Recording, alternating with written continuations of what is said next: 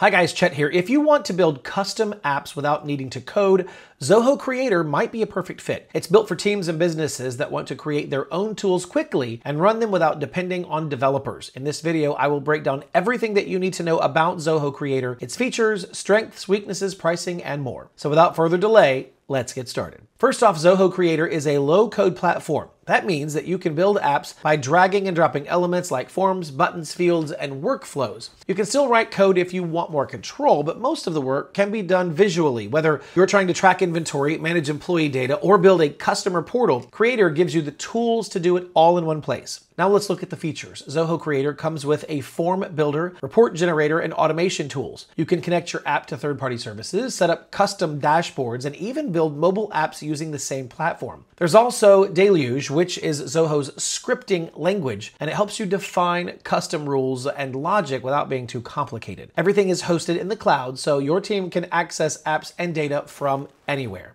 Next up is how Creator handles automation and logic. You can set up workflows that run when certain actions happen, like when a form is submitted or when a number crosses a limit. These automations help you reduce manual work and ensure things run on time without constant follow-up. You also get AI-powered features like prediction fields and sentiment analysis, which is impressive for a platform in this price range. Plus, Zoho Creator supports multi-user collaboration. You can control who can view, edit, or manage data. There are also tools for scheduling tasks, sending alerts, and integrating with other Zoho apps or external tools like Zapier, PayPal, and Twilio. For teams that work on different processes at once, having this kind of flexibility makes a huge difference. Now let's take a quick look at pricing. Zoho Creator offers four plans. The standard plan costs $12 per user per month, the professional plan $30 per user per month, the enterprise plan, which is the most popular option, costs $37 per user per month, and last there's a flex plan that's only available on yearly billing and it's meant for teams with custom needs who want a tailored package.